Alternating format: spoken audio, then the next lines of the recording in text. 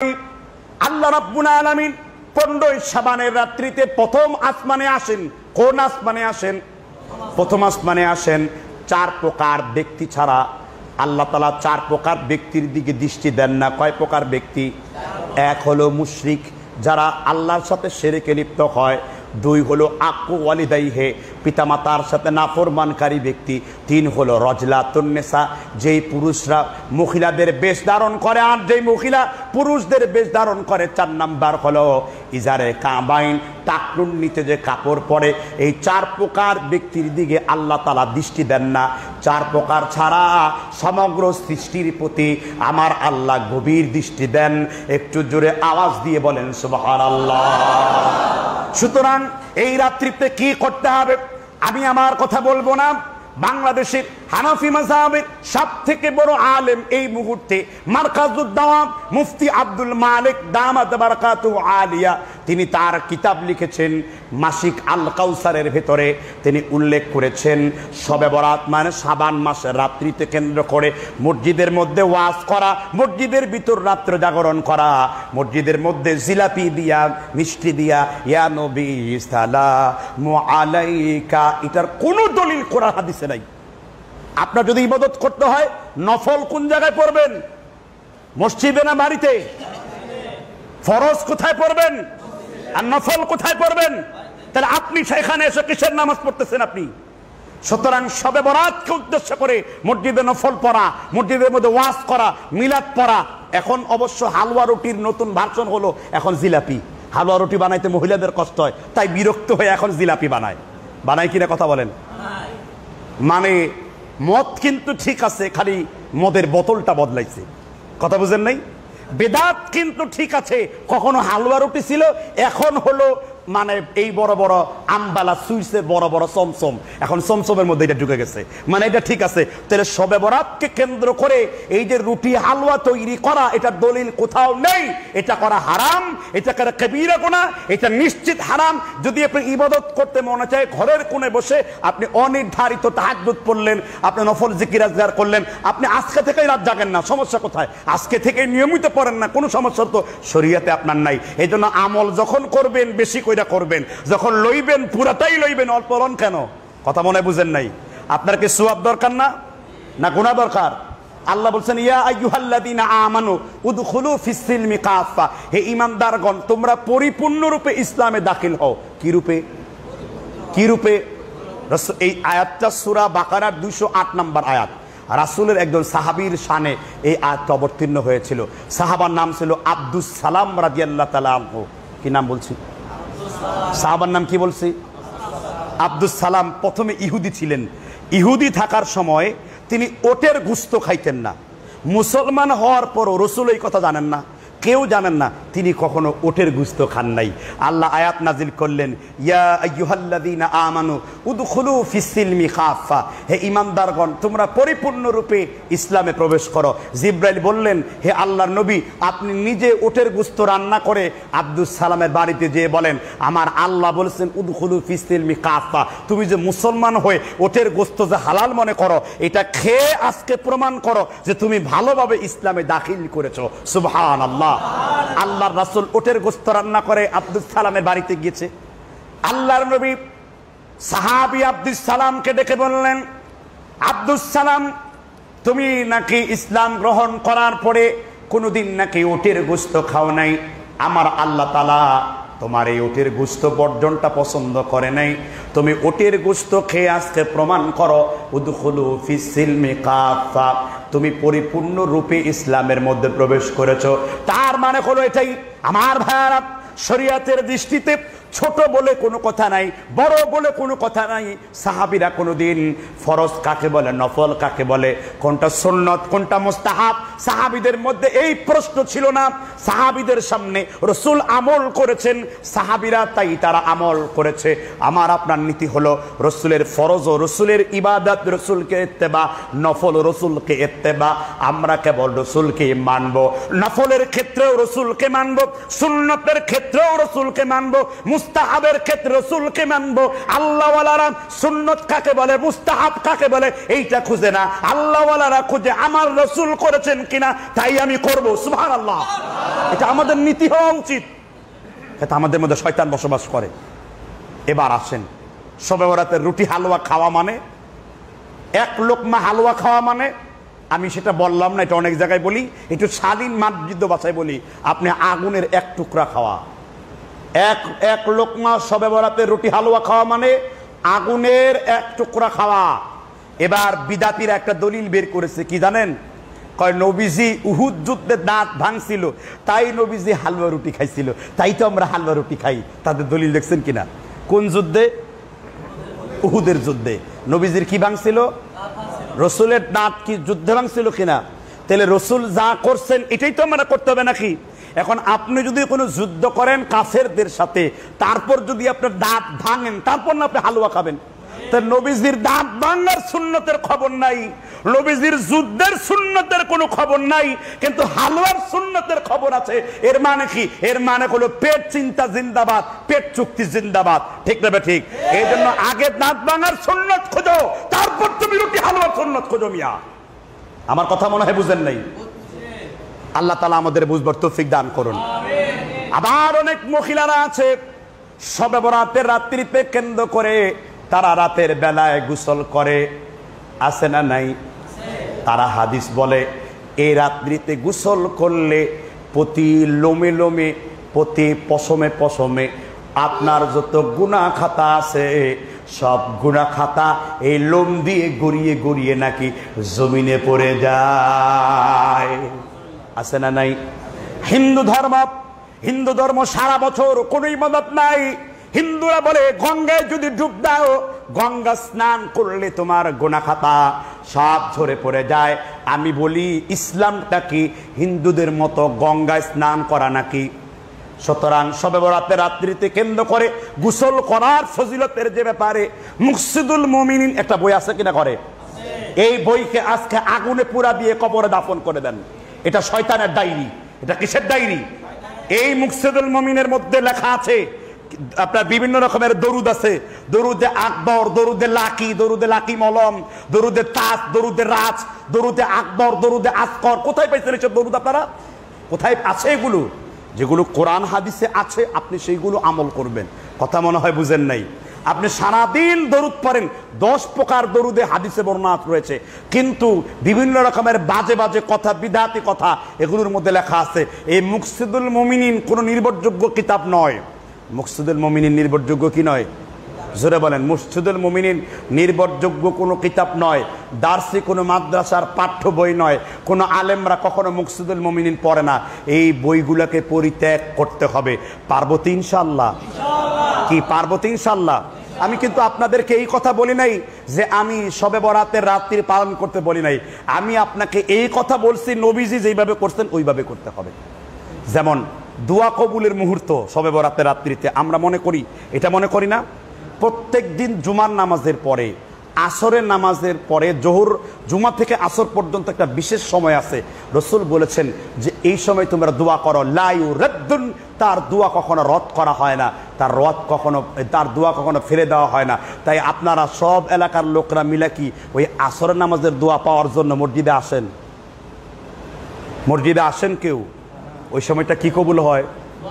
দোয়া কবুল হয়। তাহলে এখন মাসালা কি? মুহাদ্দিসগণ অর্থ করেছেন, আপনি যেইখানেই থাকেন না কেন, মহিলাগণ খাবার রান্না করতেছে, ওই রান্নার সময় দোয়া করবে, আসরের জুমার থেকে আসর পর্যন্ত সময় যদি দোয়া কবুল হয়, রান্নার পাশাপাশি মনের মধ্যে ইয়াকিন পেশ করবে, আল্লাহ তো এই সময় দোয়া কবুল করে, আপনার দোয়াটা কবুল করেন। আপনি বাজারে ব্যবসা করেন, আপনার মধ্যে ইয়াকিন ফিট করতে হবে যে আল্লাহ তো এই সময়টা দোয়া কবুল করেন, আপনার দোয়া আল্লাহ কবুল করেন। আপনি যানবাহনে আছেন, মনে মনে ইয়াকিন করবেন, আল্লাহ তো এই সময়টা দোয়া কবুল করেন। এই জন্য নেক আমলের সময়টা বাড়ান, জায়নামাজের সময়টা বাড়ান, খালি পনেরোই সাবানের সময়টা বাড়ায়েন না। আপনার সময়টা ইসলাম এবং ইমানের জন্য বাড়ান, ঠিক না ঠিক আল্লাহ তালা আমাদেরকে বুঝবার তৌফিক এনায়ত করুন। আল্লাহ তালা আমাদেরকে বুঝবার সমজ দান করুন। জি, আরও কিছু বেদাত বলব না, আলোচনা শেষ করব? খুব বিরক্ত লাগতেছে আপনাদের। এইটা হলো এই সমাজের মধ্যে অরিজিনাল ডোজ এতদিন পর্যন্ত আপনাদের এলাকা অনেক দিন ধরে পারিবারিক মাহফিল করেছি, কিন্তু বিদাত নিয়ে কোনো কিছু বলি নাই। বলেন তো কেন বলি নাই? কারণ নবী সাল্লাহ সাল্লাম তিনি তার মদিনায় সর্বপ্রথম এসেই কিন্তু ইসলামকে কারও উপর চাপায় দেন নাই। আমি যদি প্রথমেই এসেই এগুলা বলতাম, আপনারা কেউ এগুলা গ্রহণ করতেন না। কারণ সত্য গ্রহণ করতে গেলে আপনার গ্রহণযোগ্যতা তৈরি করতে হবে। লা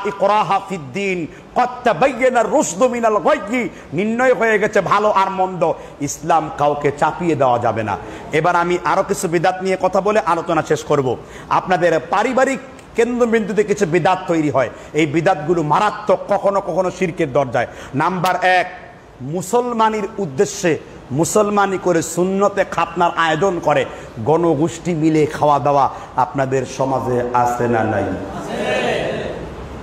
সমাজে তো আছে, আপনার আমলে তো আছে, কিন্তু কিতাবুল্লাহ সুন্নতি রসুলিল্লাহ, আল্লাহর কিতাব এবং রসুলের কিতাবে আছে।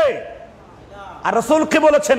আলাইকুম বিসুন্নতি ওয়া সুন্নতি খুলাফাই ওয়া রাশিদিন মাহদিহিন ওয়া তামাসসাকু বিহা ওয়া আদ্দু আলাইহা বিন নওয়াজিস তোমরা রসুলের সুন্নতকে মারির দাঁত দিয়ে কামড়ে ধরো। খলিফাদের সুন্নতকে, আবি বকরের সুন্নতকে, উমারের সুন্নতকে, ওসমানের সুন্নতকে, আলীর সুন্নতকে তোমরা দাঁত দিয়ে কামড়ে আঁকড়ে ধরো। তাহলে তোমরা কখনো পথভ্রষ্ট হবে না। তাহলে আপনি যে মুসলমান দাওয়াত খাওয়ালেন, এটার শরীয়তি দলিল কোথায়? আছে? কিন্তু সমাজে চালু আছে কিনা? মুসলমান একটা লজ্জাস্কর ব্যাপার কিনা? রসুল বলছেন, আল হায়া উসবাত তুমিনের ইমান লজ্জা হলো ইমানের অংশ। কিন্তু মহিলারা পুরুষেরা মিলে মুসলমানি এই অনুষ্ঠান করে। এখন আপনারা হয়তো বলতে পারেন যে, দূর হুজুরের ওয়াজ হুজুর করছে কাজ আমরা করব।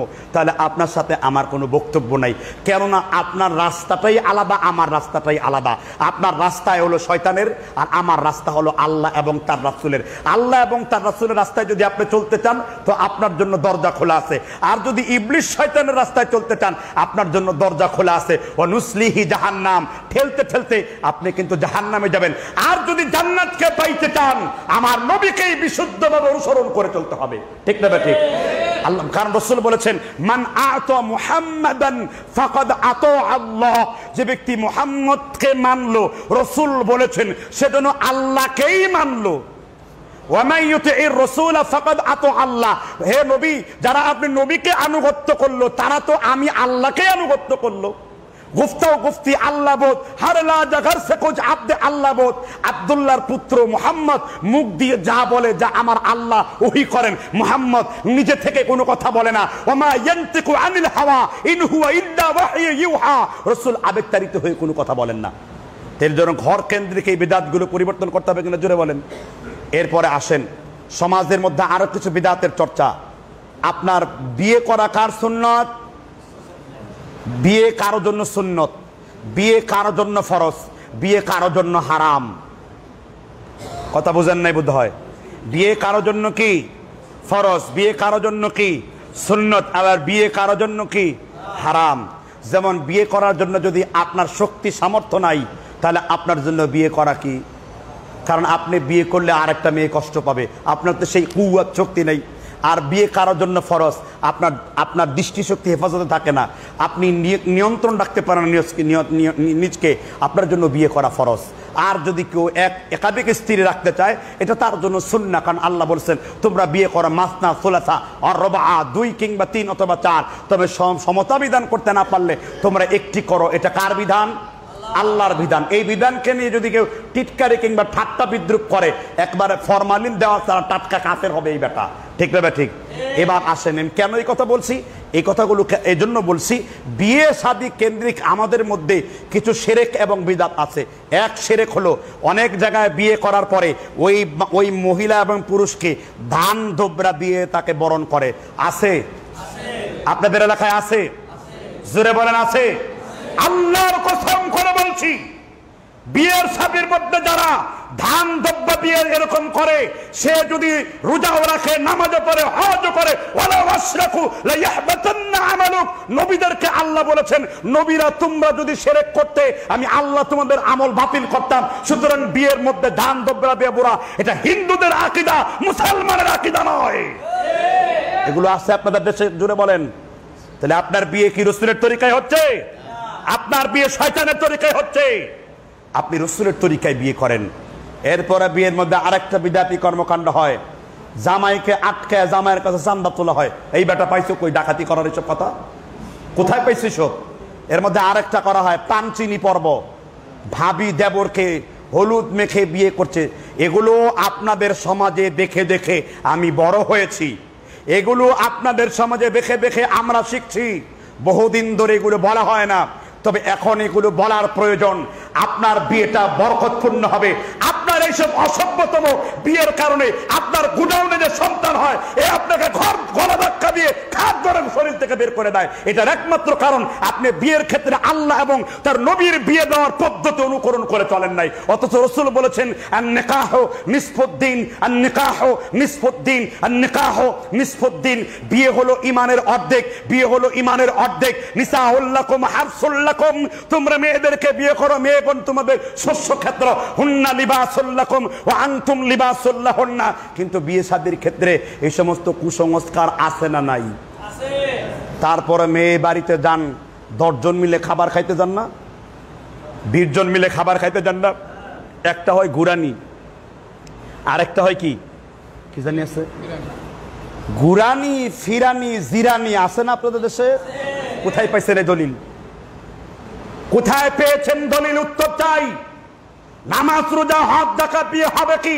যদি আপনি আমার নবী মোহাম্মদ রসুল্লাহকে অপমান করেন আল্লাহর নবী আম্মাজান খাবিজাতুল কুবরাকে সত্তরটা ওট হাবিয়ে দিয়ে তাকে বিয়ে করে অনেক মর্যাদা দিয়েছেন বলেন সুভান আল্লাহ আবার আল্লাহর নবী কখনো কখনো কোন সাহাবাকে সুরা ফাতিহাকে মোহর দিয়ে ফাতেমা বিনতে কায়াসের সাথে বিয়ে দিয়ে দিয়েছেন। বিয়েকে সহজ করেছেন আমার নবী মোহাম্মদ রসুল্লাহ কিন্তু আপনি বিয়ে শাদির মধ্যে এগুলো কোন অনুষ্ঠান করছেন? আপনার মধ্যে যদি সত্যিকার অর্থে ইমানের বীজ থাকে, আল্লাহ এবং তার রাসুলের যদি ভয় থাকে, আপনি শরিয়াত মতো বিয়ে করেন। বিয়ের সুন্নত হলো উলিমা করতে হবে। উলিমা হলো দুই পক্ষের মধ্য থেকে একটি পর্ব হবে। সবাই এটা খাবে। গ্রামবাসী সবাই জানবে যে এখানে একটা বিয়ে হচ্ছে। কারণ নবী সাল্লাহ সাল্লাম বিয়েতে আনন্দ করতে বলেছেন, এমনকি ছোট ছোট যুবকরা, যারা ছোট ছোট বাচ্চা, তারা বিয়ের মধ্যে এক মুখা ঢোল বাজাতে পারবে। কয় মুখা ঢোল? এক মুখা ঢোল। এটাকে আরবিতে বলে দফ। এটাকে আরবিতে বলে কি? দফ বাজানো। যেমন একজন বড় আলেম আসছে, বড় নেতা আসছে, তার সম্মানে দাঁড়ায় আপনারা এক মুখা ঢোল বাজালেন, এটাও আপনার জন্য কি আছে? জায়েজ আছে। কিন্তু বিয়ে শাদির ক্ষেত্রে এগুলো নাই। আরেকটা বিয়ে শাদির ক্ষেত্রে মারাত্মক বেদাত, উকিল বাপ। আপনার এত বাপের দরকার কেন? আপনার বাপ আদম আলাহ সাল্লাম এটা মজা লাগে না?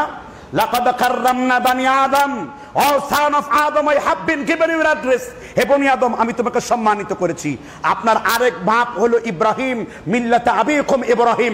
সাম্মাকুমুল তিনি মুসলিম জাতির ফাউন্ডার মুসলিম জাতির পিতা, ঠিক না ঠিক? তোমার পিতা যত দেওয়া হোক না কেন, তোমার বাপ যত হোক না কেন, আমার পিতা ইব্রাহিম নবী, অন্য কেউ নয়। ঠিক না ঠিক? আমার পিতা কে? ইব্রাহিম নবী আলাইসাল্লাম এরপরে হলো আপনার নিজের আব্বা। এতগুলো বাপ, তারপরে হলো চাচা। এতগুলো বাবা থাকতে আপনার আবার বিয়েতে উকিল বাপ দেওয়ার এইসব পাইছেন কোথায় আপনারা? এটা দেখাইতে হবে শরিয়াতে। উকিল বাবার সাথে বিয়ে হওয়া বৈধ, উকিল বাবার সাথে দেখা দেওয়া হারাম, উকিল বাবাকে বাপ ডাকা হারাম। উকিল বাপ বলতে কোনো বাপ নাই। উকিল বলতে কোনো কিছু নাই শরিয়াতে। এগুলো স্রেফ একটা শয়তানিয়ার শরিয়াতের মতো ধুত্রামি। অথচ এই বিয়ে আমার নবী মোহাম্মদ রসুল্লাহ দেননি। রসুল বলেছেন, লা নেকাহ ইল্লা বি ওয়ালিয়ুন ওলি ছাড়া বিয়ে হয় না। ওলিকে ওলি হলো বাপ, ওলিকে ওলি হলো চাচা, ওলিকে ওলি হলো ভাই, ওলিকে ওলি হলো দাদা। ওলি বাপ নাই, চাচা নাই, দাদা নাই, ওলি হলো বাবার চাচা। এরা হলো আপনার কি? ওলি। কিন্তু আপনি নিজেরা বলুন তো বিয়ে শাদির মধ্যে এই কাজগুলো আপনাদের সমাজে হয়। হয় না এগুলা? তাহলে এখন কি এটা পরিবর্তন করা দরকার কিনা? কিন্তু পরিবর্তন করবে তো অল্প সংখ্যক লোক। এই জন্য এই এলাকার মসজিদের ইমাম যারা আছেন দয়া করে মসজিদের মিম্বারে বসে হক বিয়ের কথা বলে দিন।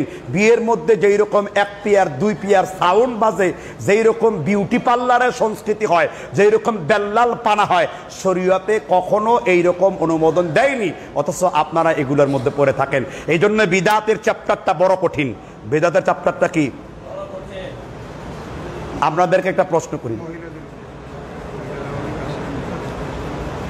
তারপর মা বোনদের উদ্দেশ্যে কিছু বিদাতি কর্মকাণ্ড আছে।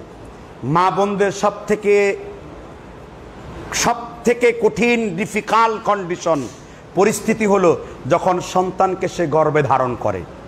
আমাদের দেশের মা বোনদের একটা মারাত্মক খারাপ সংস্কৃতি আছে। সন্তান গর্ভ ধারণ করার পরে বিভিন্ন রকমের শেরকি কর্মকাণ্ড করে। নাম্বার এক, হাতের মধ্যে ম্যাচ রাখে। হাতের মধ্যে রড রাখে। এই ম্যাচ আর রড নিয়ে টয়লেটে যায়। কি জন্য? জিনকে সে লাঠি দিয়ে পেটাবে আর ম্যাচ আগুন ধরে জিন সে ভয় দেখাবে। এই কথা বিশ্বাস করলে ইমান থাকবে তার। আর আমার নবী শিখিয়ে দিয়েছেন, কোনো মা যদি, কোনো বোন যদি আমার এই কথাগুলো মাইকের মাধ্যমে শুনে থাকেন, আমার রাসূল বলেছেন, তোমরা যখন গর্বে সন্তান আসবে, শয়তান থেকে বাঁচার জন্য একটা দোয়া পড়ো, আউযু বিল্লাহি সামিউল আলিমি মিনাশ শাইতানির রাজিম, মিন হামজিহি ওয়া নাফখিহি ওয়া নাফসিহি, আবার বলছি أعوذ بالله السميع العليم من الشيطان الرجيم من همزه ونفخه ونفسه এই দোয়াটা পড়লে আল্লাহ তালা আপনাকে শয়তান থেকে শয়তান জিন থেকে আপনাকে হেফাজত করবেন বলেন না সুবহান আল্লাহ আবার যদি কোনো মা বোনের ছোট বাচ্চা হয় ছোট বাচ্চারে অনেকেই কপালের মধ্যে কি দেয় আয় আয় চাঁদ মামা টিভি দিয়ে যা সাদের কপালে চাঁদ টিভি দিয়ে যা। গান গায়া টিপ দেয়, তাই না? মানে হাসতে হাসতে সেরেক করে কাঁদতে কানতে জাহান নামে ঢুকে। কথা বুঝতে পারছেন কিনা?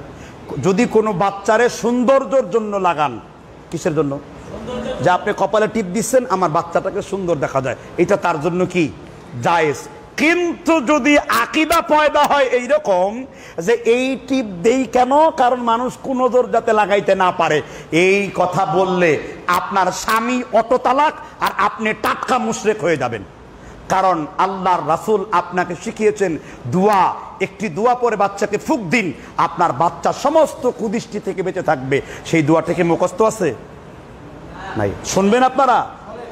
আল্লাহর নবী বলেছেন মানুষের কুদৃষ্টি থেকে বাঁচার জন্য একটা দোয়া পরব আউযু বিকালিমাতিল্লাহি তাম্মা মিন কুল্লি আইনিল লাম্মা আউযু বিকালিমাতিল্লাহি তাম্মা মিন আইনিল যদি কোনো মা, যদি কোনো বোন তার বাচ্চাকে হেফাজত করার জন্য এই দোয়াটা পরে ফু দেয়, আমার আল্লাহ ওই মহিলার বাচ্চাটাকে নিজের পক্ষ থেকে, মানুষের কুদৃষ্টি থেকে আমার আল্লাহ তাকে হেফাজত করার ব্যবস্থা করবেন। আল্লাহর ফেরেশতারা তার বাচ্চাটাকে পাহারা দেওয়ার ব্যবস্থা করবেন। বলেছেন, আমার নবী মোহাম্মদ রসুল্লাহ আউযু বিকালিমাতিল্লাহি তাম্মা মিন কুল্লি আইনিল্লাম রসুল বলেছেন, কুদৃষ্টি থেকে বাঁচার জন্য এই দোয়াটা বেশি করে পড়ো কিন্তু আমরা যেহেতু দোয়া জানি না, কিন্তু আমরা তাবিজ কবচ ভয় তাবিজ আর জন্ডিসের মালা। যেই মহিলা দেয় তার সেই মহিলা শয়তানের খালা। আছে না নাই? হিন্দু কবিরাজের কাছে বাচ্চা নিয়ে যায়। হিন্দু লোকদের কাছে বাচ্চা নিয়ে যায়, হিন্দু বাড়িতে বাচ্চা নিয়ে যায়, হিন্দুদের মেলায় বাচ্চা নিয়ে চাওয়া হয়, আশ্রয় চাওয়া হয়, কপাল পোড়া মুসলমান, শিরিক করে, শিরিককে গুণাই মনে করে না, ঠিক কিনা বলেন? অথচ বাচ্চা সিকিউরিটি দেওয়ার মালিককে আল্লাহর রাসুল বলেছেন মান্না দ্বারা বিগয়রিল্লাহ ফাকাদ আশরাকা, মাদেরকে বলতে চাই, বোনদেরকে বলতে চাই। আল্লাহর নবী বলেছেন, তোমরা আল্লাহ ছাড়া কারও নামে নাজর করো না। এখন বলেন, নাজর মানে কি? মান্নত। নাজর মানে কি? মান্নত। অনেকেই বলে, অমুক বাবার মাজারে দুইটা মুরগি ছেড়ে দেব। মুরগি ছাড়বা কি জন্য? গোপনে গোপনে ঠাকুরদের পেটকে পরিপূর্ণ করার জন্য নাকি? মাজারে মুরগি ছাড়বা কেন? মাজারের খাদেমদের পেট মুটা করার জন্য নাকি? আল্লাহর নবী মোহাম্মদ রসুল্লাহ তার থেকে বড় মাজার, তার থেকে বড় কবর, পৃথিবীতে অন্য কোনো বুজুর্গের কবর আছে নাকি? পৃথিবীতে সর্বশ্রেষ্ঠ মানব হলেন আমার নবী মোহাম্মদ রসুল্লাহ এখন বলেন তো, আমার নবীর কবরে কি গরু উঠে? আমার নবীর কবরে কি ওট ওঠে আমার নবীর কবরও কি পাঠা ওঠে আমার নবীর কবরে কি কোনো মুরগি ওঠে? এই জন্য আমার নবীর দরবার হলো পবিত্র দরবার, আমার নবীর দরবার হলো কবর হলো সেরেক থেকে মুক্ত। আর তোমার দরবার, গরুর দরবার, পাঠার দরবার, মুরগির দরবার, গরুর দরবার, বেড়ার দরবার, ওটের দরবার, ছাগলের দরবার, তোমার দরবার, আল্লাহর দরবার হতে পারে না। ঠিক কিনা বলেন? এগুলো থেকে মুক্ত থাকতে হবে আপনাদেরকে। মা বোনরা এইসব দরবারে যায়। তারপরে মা বোনরা কিছু হলে কবিরাজের বাড়িতে দৌড়ায়। জাদুকরের বাড়িতে দৌড়ায়। আল্লাহ তালা বলেছেন, মিন সারিন নাফাসাতি ফিল ওকাত আল্লাহ, তুমি আমারে বাঁচাও। গিট্টু দেওয়া মহিলাদের কাছ থেকে। কি দেওয়া? গিট দেওয়া মহিলা। গিট দেওয়া মানে মহিলারা জাদুকরের বাসায় যায়। স্বামী কথা শুনে না দিল জাদু করে, আমার কথা শুনবে। সূরা বাকারার 101 নম্বর আয়াতে আল্লাহ বলেছেন, শয়তানের কাছে যায়, শয়তান স্বামী এবং স্ত্রীর মধ্যে বিচ্ছেদের জাদু ঘটায়। আর আমার রাসূল বলেছেন, কে বলেছেন? দুইজনের নাম বললেন জোরে। কে বলেছেন? চিল্লায় বলেন, কে বলেছেন? আল্লাহর নবী বলেছেন মান আতাকা হেনান। কেউ যদি কোনো গণকের বাড়িতে গেল, মান আতাকা হেনান। কেউ যদি কোনো কবিরাজের বাড়ির দিকে গেল, মান আতাকা হেনান। কেউ যদি কোনো জ্যোতিষী ওঝা পীর ফকিরের বাড়ির দিকে গেল, রসুল বললেন বিমায়া কল আর ওই ফকির ওজা যা বলল তা বিশ্বাস করল। ফাঁকাদা কাফারা, ওই ব্যক্তি যেন সরাসরি কাফের হয়ে গেল। আপনি যাবেন আলেমের কাছে আলমদের কাছ থেকে কোরআনের আয়াত পরে ধারাবেন আল্লাহ বলেছেন মিনাল আমি আল্লাহ তালা মুমিনদের জন্য কোরআনকে শেফা করে নাজিল করে দিয়েছি। সুতরাং মা বোনদেরকে হাত জোর করে। আমি অনুরোধ করছি, মা বোন, খবরদার জীবন থাকা পর্যন্ত কোনো কবিরাজের বাড়ির দিকে গমন করবেন না। যদি আপনি কবিরাজের বাড়ির দিকে গমন করেন, আমার নবী বলেছেন সেজন্য আল্লাহ এবং তার নবীর উপরে যা নাজিল হয়েছে, তাকে অস্বীকার করল। কারণ কবিরাজের বাড়িতে চূড়ান্ত সমাধান নয়। আমার মা বোনদের ভিতরে আরও একটা সিরকি কর্মকাণ্ড পাওয়া যায়। মা বোনরা এইসব সিরকে বিশ্বাস করে। আমাদের দেশে অনেক মা বোনরা বাচ্চা বড় হয়, বাচ্চার গলায় সুতা ঝুলায় রাখে। মহিলারা এত নিচে নামে, এদেরকে যদি শিরিক বলাও হয়, বুঝানো হয়, তবু শরীর থেকে সীতা, সুতা ছিঁড়ে ফেলে না। ইমাম আবু হানিফার উস্তাদের নাম কি জানেন? ইব্রাহিম আস্তার নাখি রহমতুল্লাহ আলাই ইব্রাহিম আস্তার নাখির উস্তাদের নাম কি? আব্দুল্লাহ ইবনে মাসউদ রাদিয়াল্লাহু তাআলা আনহু। আব্দুল্লাহ ইবনে মাসউদের উস্তাদের নাম কি? মুহাম্মদ রাসূলুল্লাহ সাল্লাল্লাহু আলাইহি ওয়াসাল্লাম। ইব্রাহিম বলেছেন কেউ যদি কারও শরীর থেকে তাগা সুতা এটা টেনে ছিঁড়ে ফেলতে পারে দশটা গোলাম আজাদ করার সওয়াব তার আমল নামায় লিখে দেওয়া হয়। কেন আপনি তা- আপনি তাগা লাগাবেন? কয় হুজুর এটা লাগাইলে তো ভালো হয়ে যায়। তাহলে আপনার বিশ্বাসটা আল্লাহর পরিবর্তে কিসের উপর আসলো? সুতার উপরে আসলো। তাই না? আর আল্লাহ বলছেন ফাতাওয়াক্কালু ইন কুনতুম মুমিনিন। তুমি যদি মুমিন হও ভরসা কার প্রতি করো? এক সাহাবা দোয়া করছেন প্রচণ্ড বৃষ্টি মসজিদ নবমী থেকে নয় মাইল দূরে। কয় মাইল দূরে? এক সাহাবা তাওয়াক্কুল করেছেন আল্লাহ বৃষ্টি দিও কিন্তু আমারে ভিজায়ও না। দুইজন নয় মাইল দূরে রওনা হয়েছেন।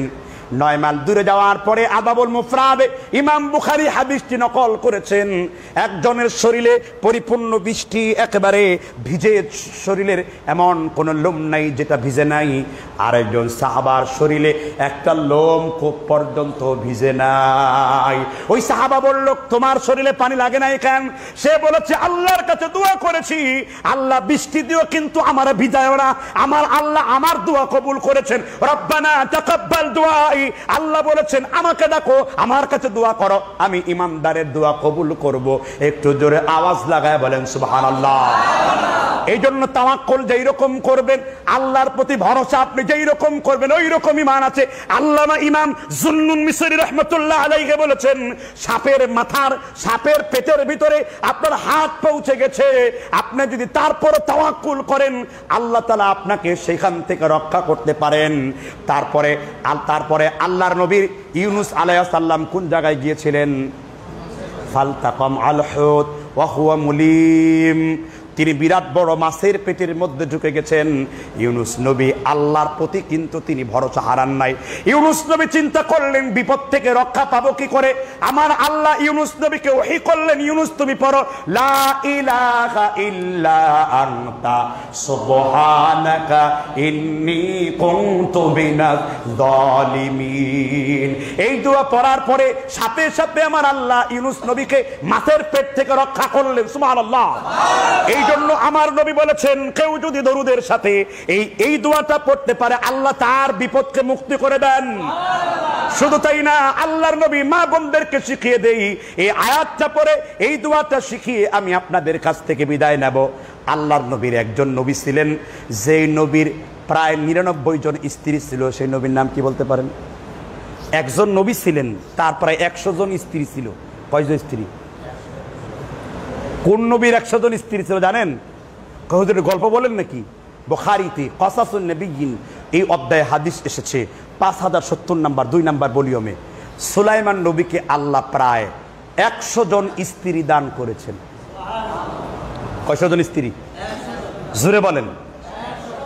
নবী সুলাইমান বললেন, আজকে রাত্রে আমি ওয়ালা কদ ফাটান্না সুলাইমান وألقينا على كرسيه جسدا ثم أناب সুবহান আল্লাহ বলবেন না সুরা সাবার বারো নম্বর আয়াত সুলাইমান নবী বললেন আজকে আমি আমার একশো জন স্ত্রীর সাথে মিলিত হব আর প্রত্যেক স্ত্রীর গর্বে একজন করে যোদ্ধা মুজাহিদ তৈরি করব।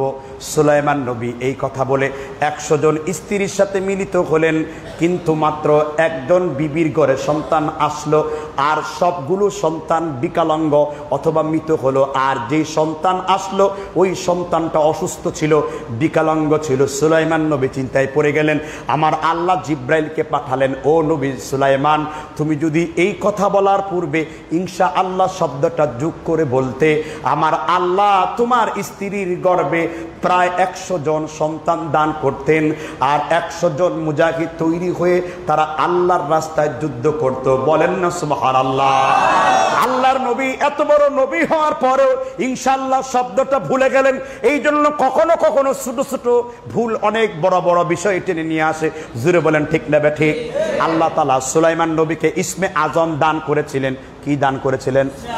ইসমে আজম দান করেছিলেন। আর আমার নবী মোহাম্মদ রসুল্লাহ বলেছেন, কেউ যদি ইসমে আজম পরে দোয়া করে, আমার আল্লাহ কোনোদিন তার দোয়া ফিরাইয়া দেবেন না।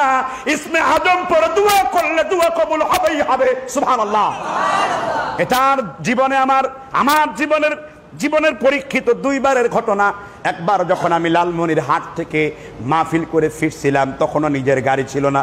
আমি দেখলাম সামনে সামনে দুইটা গাড়ি, আমার সামনের ড্রাইভার তিনি মারা গেছেন, হেল্পারও মারা গেছেন, আমার পাশের যাত্রীও মারা গেছেন। আমি ইসমে আজম পরে দোয়া করে আমি শুয়ে পড়েছি, আল্লাহর কসম, আমার বিন্দু পরিমাণ কোনো ক্ষতি হয় নাই। এই তো কিছুদিন পূর্বে র্যাব আমাকে উঠিয়ে নিয়ে গেল, সারা বাংলাদেশ গরম হয়ে গেল প্রায় সাত, আটটা পত্রিকায় প্রায় আট, নয়টা টিভি চ্যানেলে চলে আসলো। ফেসবুকে লক্ষ লক্ষ মা, লক্ষ লক্ষ বোন, হাজার হাজার মানুষ আমার জন্য কান্না করে আল্লাহর কাছে দোয়া করেছে। আমি সব কিছু বাদ দিয়ে ইসমে আজম পরে দোয়া করেছি আর দৃঢ়তার সাথে বলেছি, আমার আল্লাহ আমাকে এই কারাগার থেকে মুক্ত করবেন। আল্লাহর কসম, বান্ন ঘণ্টা পরে আবার এই র্যাপিড অ্যাকশন ব্যাটালিয়নের স্যারেরা আমাকে নিরাপরাধে একেবারে ভালোবেসে আমার আত্মীয় স্বজনের কাছে তুলে দিয়েছে, এটা ইসমে আজমের বরকতে আমার আল্লাহ আমাকে রক্ষা করেছেন। কি, কিসের দোয়া? সেটা শুনবেন না, সে দোয়া মুখস্থ করা দরকার না। সোলাইমান নবী সাল্লাল্লাহ সাল্লাম তিনি মানুষের নবী, তিনি জিনের নবী। ওয়ালি সুলাইমান আরে ورواقها شهر وعسلنا له عين الخطر ومن الجن من يعمل بين يديه بإذن ربه ومن يزغ منهم عن أمرنا نذقه من عذاب السعير সুলাইমান নবীকে আল্লাহ এত ক্ষমতা দিয়েছেন এক সকাল যদি ঘর থেকে তিনি বের হতেন এক মাসের পথ তিনি অতিক্রম করতেন আবার বিকেল বেলায় এক পা ফেললে সুলাইমান নবী এক মাসের পথ অতিক্রম করতেন বলেন আল্লাহ সুলাইমান নবী বিরাট বড় সংসদ বসিয়েছেন। সব লোকেরা উপস্থিত, কিন্তু সুলাইমান নবীর একজন গোয়েন্দা ছিল, তার নাম ছিল হুদহুদ পাখি। কি পাখি? জোরে বলেন, কি পাখি? হুদহুদ পাখি। সব উপস্থিত, সুলাইমান নবী হুদুদ পাখি কাকি তলব করলেন। আমার গোয়েন্দা, আমার স্পেশাল টাক ফোর্স হুদহুদ পাখি তুমি কোথায় গিয়েছো? হুদুদ পাখি বলেছে, নবী সুলাইমান ভ্রুকুঞ্চিত করবেন না, চক্ষুকে ছানা বড়া করবেন না। আমি এমন একটা খবর নিয়ে এসেছি, যেই খবর শুনলে আপনি আশ্চর্য হয়ে যাবেন, ও হুদহুদ পাখি, কি খবর নিয়ে এসেছ? আমি ব্যাবিলের দেশে, ব্যাবিলিয়ান, অর্থাৎ ইরাক নগরীতে দেখেছি, রানী বিলকিস সত্তর থেকে তেত্রিশ হাজার পর্দার অন্তরালে সূর্যদেবীর ইবাদত করে, সূর্যকে সেজদা করে, সূর্যের পূজা করে। সুলাইমান রেখে গেলেন। সুলাইমান মানুষের জিনকে বললেন, কে আছে এমন ব্যক্তি যে ব্যক্তি রানী বিলকাসের বিলকিসের সিংহাসনটা এই মুহূর্তে নিয়ে আসতে পারবে? তখন ও কালাল, ইফরিদু মিনাল জিন্নি। জিনদের মধ্যে যুবক একটা জিন বলল, নবী সুলাইমান, আপনি চোখ বন্ধ করবেন আর চক্ষু খুলবেন। আমি বিলকিসের সিংহাসনটা আপনার সামনে নিয়ে আসব। সুবহানাল্লাহ বলবেন না। ও কালাল, ইফরিদু মিনাল জিন আপনি শুধু চোখ বন্ধ করবেন, আর খুলবেন। বিলকিসের সিংহাসন আপনার সামনে উপস্থিত। কিন্তু সুলাইমানের দফতর মন্ত্রী বলল, ওই জিন যত তাড়াতাড়ি ওই সিংহাসন নিয়ে আসতে পারবে, আমি ওই জিনের চাইতে তাড়াতাড়ি আপনার সামনে নিয়ে আসব। এবার মানুষের জিন প্রতিযোগিতায় লিপ্ত হয়ে গেল। সুলাইমানের দপ্তর মন্ত্রী জিনকে পরাজিত করে তার থেকে তাড়াতাড়ি রানী বিলকিসের সিংহাসন নিয়ে আসলেন। এবার এবার সুলাইমান নবী বললেন হে হে হে হে আমার দপ্তর মন্ত্রী, তুমি কি এমন আমল করেছ? আমার আল্লাহ তোমাকে এত বড় নিয়ামত দিয়েছেন। এবার সুলাইমানের দপ্তর মন্ত্রী বলল, নবী সুলাইমান, আমি বড় কিছু জানি না। আমার কাছে ইসমে আজম আছে আর আমার নবী ইসমে আজমটা শিক্ষা দিয়েছেন। সোনানে ইবনে মাজা চার হাজার বাষট্টি নাম্বার হাদিস রসুল বলেছেন, কেউ যদি দরুদে ইব্রাহিমের সাথে এই দোয়া পড়ে আল্লাহ হুম্মা ইন্নি আসআলুকা বি আন্নাকা আনতাল্লাহুল আহাদুস সামাদ আল্লাযী লাম ইয়ালিদ ওয়া লাম লাহু কুফুয়ান আহাদ এই দোয়াটার নাম হলো ইসমে আজম সুবহানাল্লাহ এই দোয়াটার নাম কি ইসমে আজম আপনি পড়েন, আপনার কে- আল্লাহ তালা অসাধারণ বিপদ থেকে রক্ষা করবেন। আবার মুখস্থ করে ইসমে আজমটা সবাই বলেন আল্লাহ হোম্মা ইন্নি আসআলুকা বি আন্নাকা আনতাল্লাহুল আহাদুস সামাদ আল্লাযী লাম ইয়ালিদ ওয়া লাম ইউলাদ ওয়া লাম ইয়াকুল লাহু কুফুয়ান আহাদ আল্লাহুম্মা ইন্নি আসআলুকা بأنك أنت الله الأحد الصمد الذي لم يلد ولم يولد ولم يكن له কুফুয়ান আহাদ এটার নাম কি এটার নাম কি মুখস্থ করবেন তো দোয়া এটা পড়ে দরুদি ইব্রাহিম পড়ে এই দোয়া পড়লে আমার আল্লাহ আপনাকে এই দুয়ার বরকতে সব বিপদ থেকে তিনি রক্ষা করবেন।